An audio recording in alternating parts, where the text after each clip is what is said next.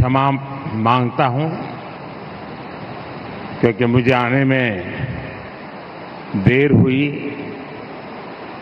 और आपको काफ़ी इंतज़ार करना पड़ा।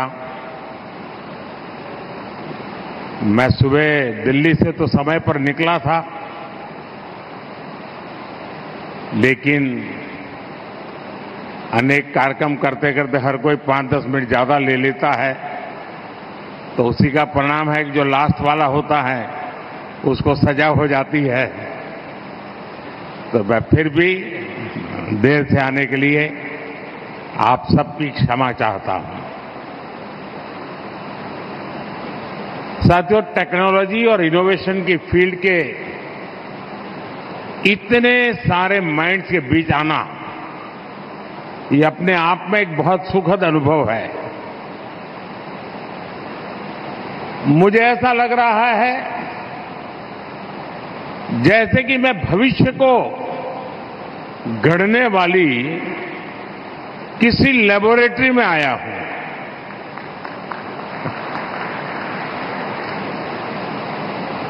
टेक्नोलॉजी के क्षेत्र में, खासकर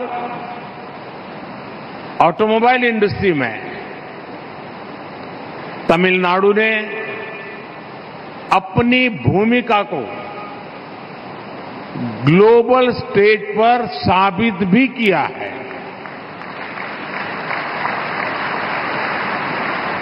मुझे खुशी है कि आपने इस इवेंट को भी क्रिएटिंग द फ्यूचर, ये नाम दिया है। Creating the future digital mobility for automotive MSME enterprises मैं इस कार्यक्रम के लिए इतनी बड़ी संख्या में एमएसएमईज को, हज़ारों प्रतिभाशाली युवाओं को एक मंच पर लाने के लिए टीवीएस कंपनी को बहुत बहुत बधाई देता हूँ।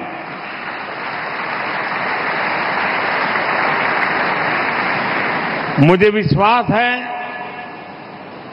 इस प्लेटफॉर्म से ऑटोमोबाइल इंडस्ट्री के साथ साथ विकसित भारत के निर्माण को भी गति मिलेगी। मैं समझता हूँ कि साइमेटेनियस इंटरप्रिटेशन चल रहा है ना? साथियों आप सब जानते हैं कि हमारी कुल जीडीपी का सेवन परसेंट हिस्सा देश की ऑटोमोबाइल इंडस्ट्री से आता है। जीडीपी में सेवन परसेंट भागीदारी, यानी अर्थव्यवस्था का एक बहुत बड़ा हिस्सा। इसलिए ऑटोमोबाइल केवल रोड पर ही रफ्तार नहीं देते, ऑटोमोबाइल इंडस्ट्री से देश की अर्थव्यवस्था को, देश की प्रगति को भी उतनी ही रफ्तार मिलती है। मैन्युफैक्चरिंग और इनोवेशन को बढ़ावा देने में भी ऑटोमोबाइल इंडस्ट्री का रोल बहुत अहम है। साथियों, जो योगदान ऑटोमोबाइल इंडस्ट्री का देश की इकोनॉमी में है वही भूमिका एमएसएमईज की इस इंडस्ट्री के लिए है। भारत में हर साल 45 लाख कार उसका प्रोडक्शन होता है। भारत में करीब two crore two wheeler ten lakhs commercial vehicle और साढ़े आठ लाख थ्री व्हीलर्स भी बनाए जाते हैं।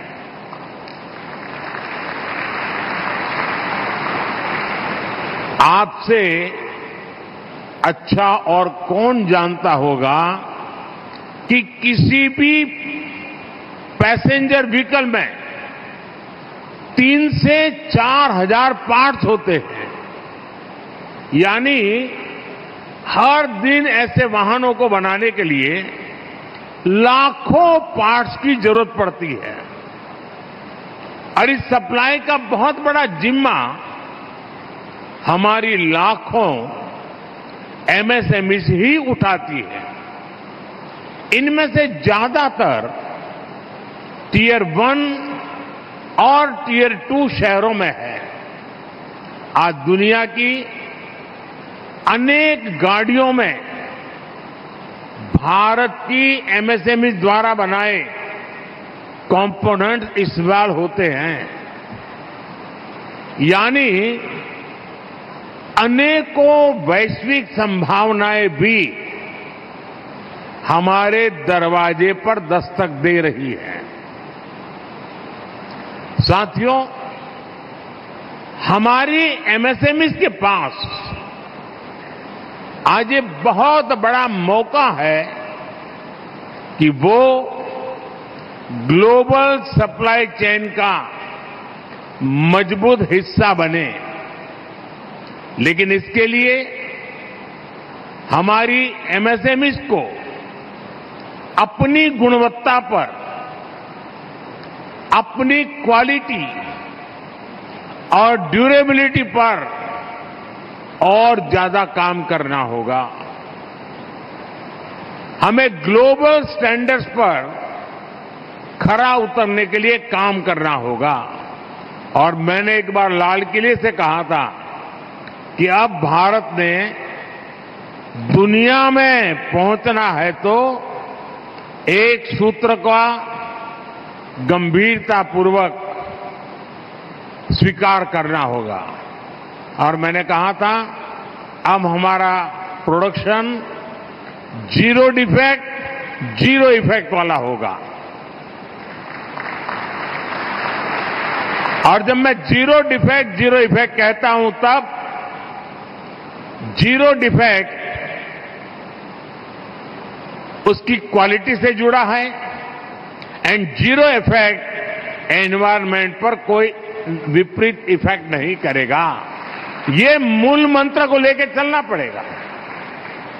साथियों digital mobility for automotive MSME entrepreneur से देश के लघु उद्योगों को नई दिशा मिलेगी, भविष्य के लिए तैयार होने में मदद मिलेगी। साथियों, कोरोना के समय दुनिया ने भारत के लघु उद्योगों का सामर्थ्य देखा है। भारत ने कोरोना के खिलाफ लड़ाई में जो विजय हासिल की, उसमें लघु उद्योगों की बड़ी भूमिका रही है। इसलिए आज देश एमएसएमई के भविष्य को देश के भविष्य के तौर पर देख रहा है। पैसे से लेकर प्रतिभा तक एमएसएमई के संसाधनों में वृद्धि हो, इसके लिए चौतरफा काम हो रहा है। पीएम मुद्रा योजना और पीएम विश्वकर्मा योजना ये ऐसी योजना है जो इस दिशा में बड़ी भूमिका निभा रही है। कोरोना के समय में एमएसएमई क्रेडिट गारंटी स्कीम ने लाखों रोज़गार, और वो संकट का काल है, आप याद रखिए, लाखों रोज़गार बचाने में आपके एमएसएमई सेक्टर ने मदद की थी। साथियों, आज हर सेक्टर से जुड़ी एमएसएमई के लिए सस्ते लोन और वर्किंग कैपिटल की सुविधा सुनिश्चित की जा रही है। संसाधन बढ़ने से उनकी सोच का भी विस्तार हो रहा है।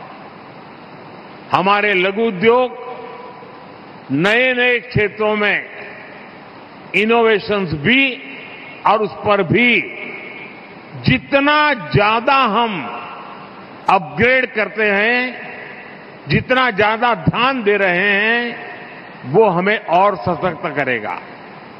हमारी सरकार इस दौर में एमएसएमईज को नई टेक्नोलॉजी और नए स्किल्स की ज़रूरत का भी ध्यान रख रही है। इसके लिए विशेष स्किल डेवलपमेंट प्रोग्राम चल रहे हैं, ट्रेनिंग संस्थान चलाए जा रहे हैं। पहले हमारे यहाँ स्किल डेवलपमेंट एक रूटीन काम माना जाता था। जब से आपने मुझे सेवा करने का मौका दिया, मैंने स्किल डेवलपमेंट की अलग मिनिस्ट्री बना दी है।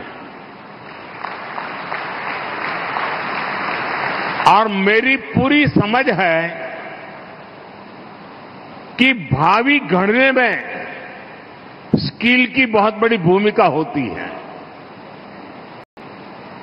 और इसलिए आधुनिक से आधुनिक और निरंतर अपग्रेडेड होने वाली स्किल्ड यूनिवर्सिटीज हमारे यहाँ बहुत आवश्यक है। साथियों सरकार आज जिस तरह ईवीज को बढ़ावा दे रही है, उससे भी एमएसएमई सेक्टर के लिए नए अवसर बन रहे हैं।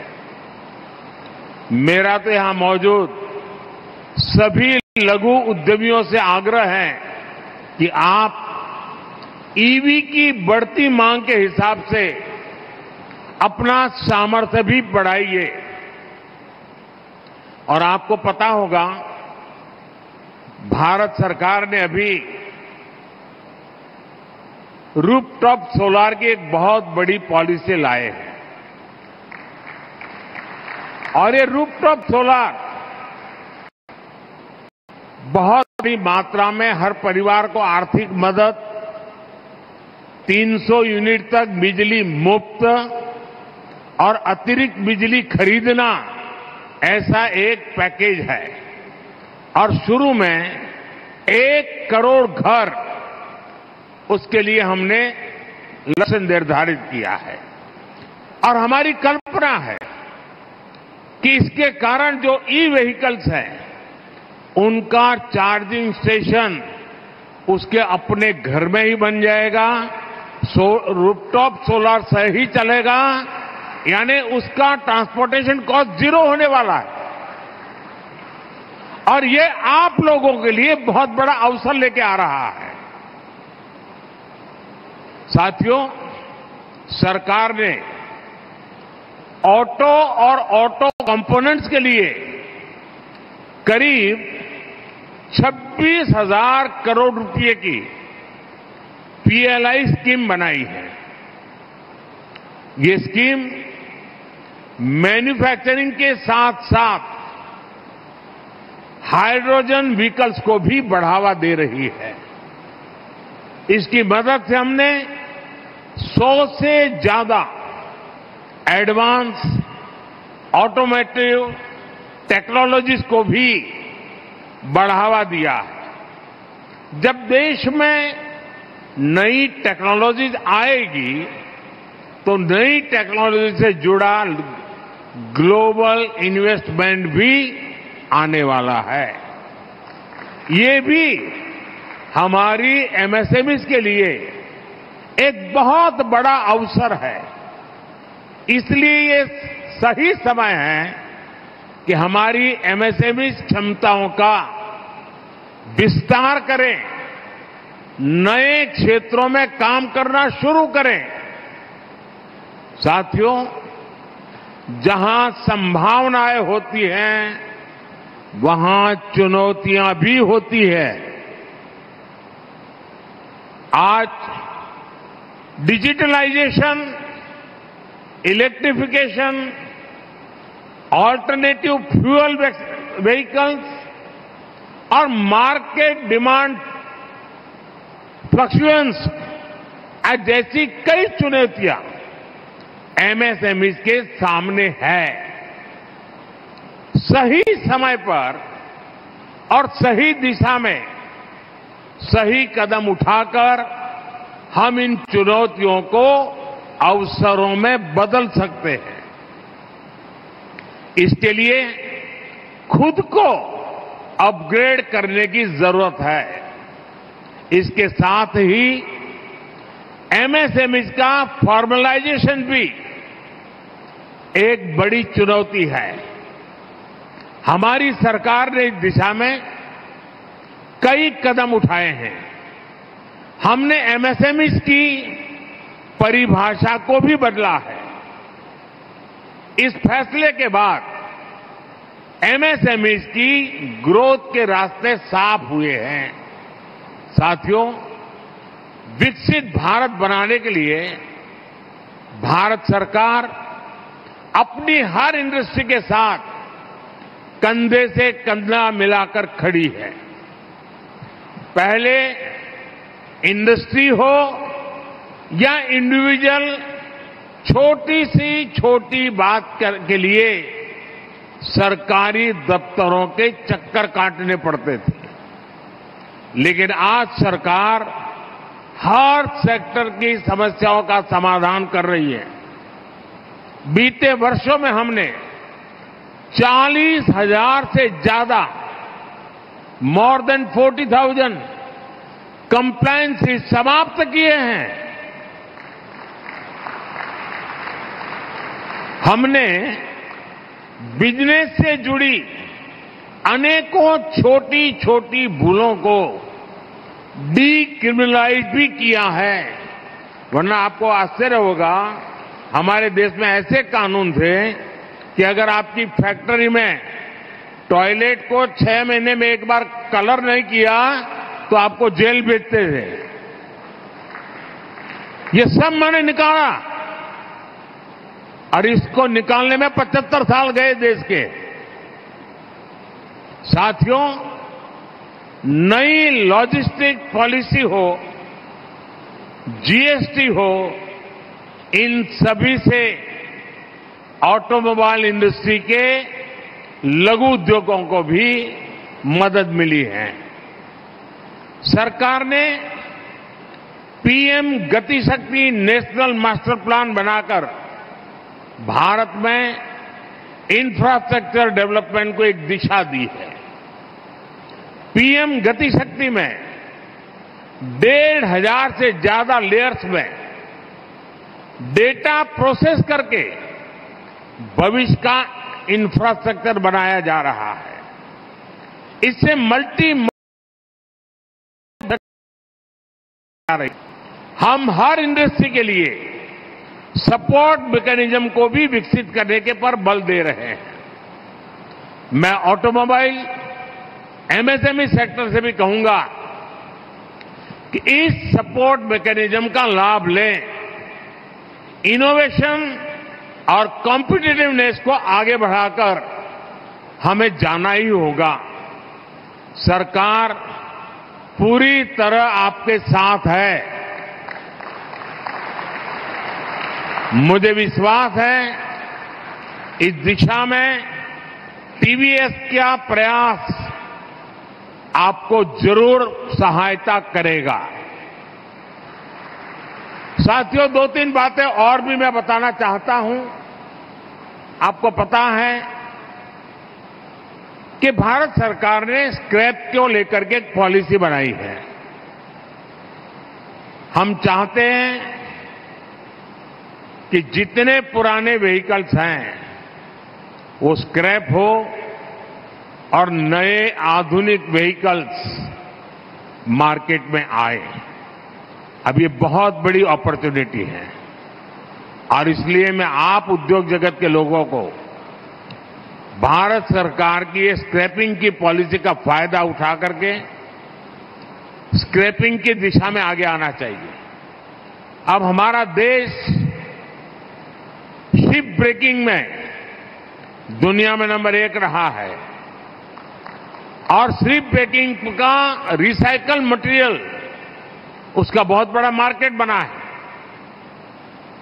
मैं मानता हूँ, अगर बड़ी योजना पूर्वक हम आगे आए तो हमारे पड़ोसी देश भी, उनके व्हीकल्स भी गल्फ कंट्रीज़ जहाँ बहुत तेज़ी से व्हीकल बदले जा रहे हैं, वो भी स्क्रैप के लिए भारत आकर के एक बहुत बड़े उद्योग की संभावना है, और वो सारी चीज़ें किसी न किसी रूप में आपके एमएसएमई के लिए काम की है। हम इस पूरे चीज़ों का कैसे फ़ायदा उठाएँ? उसी प्रकार से मुझे अभी बताया गया कि इसमें ट्रांसपोर्ट सेक्टर से जुड़े हुए लोग भी हैं।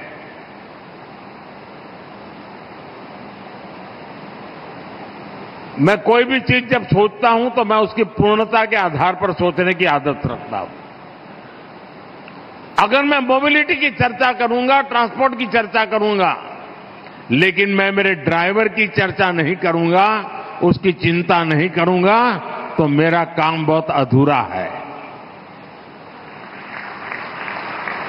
और इसलिए आपने कुछ दिन पहले आपने शायद अखबार में पढ़ा होगा, हमें पायलट प्रोजेक्ट के रूप में हम एक हज़ार प्लेसेस सेंटर्स मेन हाईवेज पर अभी बनाने वाले हैं, जिसमें ड्राइवर्स के लिए सारी सुविधाएँ उपलब्ध होगी। और उसके कारण एक्सीडेंट्स कम होंगे, उसको रेस्ट मिलेगा, आवश्यक सुविधाएँ उसको प्राप्त होगी, और प्रारंभ में हम ग्लोबल स्टैंडर्ड के एक हज़ार ऐसे सेंटर्स बनाने का काम ऑलरेडी हम शुरू कर रहे हैं। तो जो ट्रांसपोर्ट सेक्टर के मेरे भाई बहन हैं, उनको, अपने ड्राइवर्स को और अधिक सुरक्षा भी, संतोष भी, और आपके कारोबार को विकास करने के लिए नए अवसर, ये सारी चीज़ें एक साथ उसे जुड़ी हुई है। साथियों, आप सबके बीच आने का अवसर मिला। अनेक आकांक्षाएँ आपकी भी हैं, अनेक सबके, आपके भी हैं, और आप सबके सपनों को मैं मेरे संकल्प बना करके जी जान से जुटा रहता हूँ। भरोसा कीजिए, आपके जो पाँच साल के जो भी प्लान होंगे, हिम्मत के